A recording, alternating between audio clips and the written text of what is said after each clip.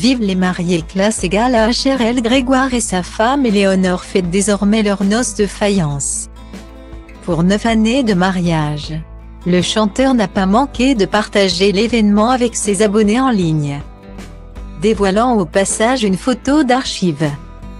Sur son compte Twitter suivi par un peu plus de 77 000 abonnés, Grégoire a donc posté un cliché tiré de ses archives personnelles.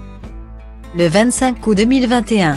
En légende, l'interprète des tubes Toi plus moi et Rue des Étoiles, qui a été lâché par sa maison de disques et se débrouille seul depuis écrit, 9 ans de mariage.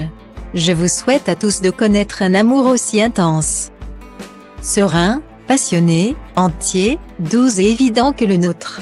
Deux jolis mots qui ont sans doute beaucoup touché son épouse. Éléonore de Galard, ancienne avocate s'étant reconvertie comme productrice de spectacles.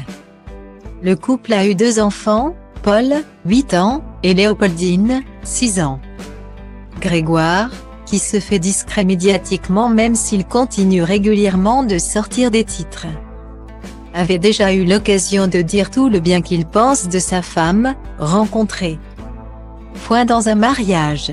Il avait d'ailleurs fait sa propre demande après moins d'un an de relation amoureuse.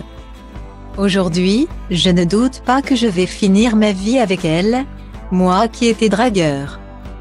Je n'ai plus ce rapport de séduction avec les autres femmes. Éléonore m'a donné de beaux enfants qui m'ont appris à me détacher de pas mal de choses avait-il ainsi confié au magazine Public en 2018. Côté carrière, Grégoire est très actif et partage fréquemment des titres inédits pour ses fans. Sur Instagram, il a ainsi fait la promotion des chansons Sauver le monde, Une trace d'amour ou encore Je veux que ça aille. Point.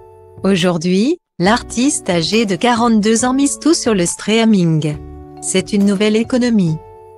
Une nouvelle façon de voir les choses, il faut se rendre compte qu'aujourd'hui, un album, ça n'intéresse plus personne. Ce qu'on dit, c'est que c'est important d'être dans une playlist. Parce que lorsqu'on est dans une playlist, un tel va écouter telle chanson et va tomber sur la vôtre. Et quand il va tomber sur la vôtre, il va écouter parce qu'il aime bien et il va écouter d'autres chansons. Avec les algorithmes, au final, on y gagne. Alors oui, ce n'est pas la même économie.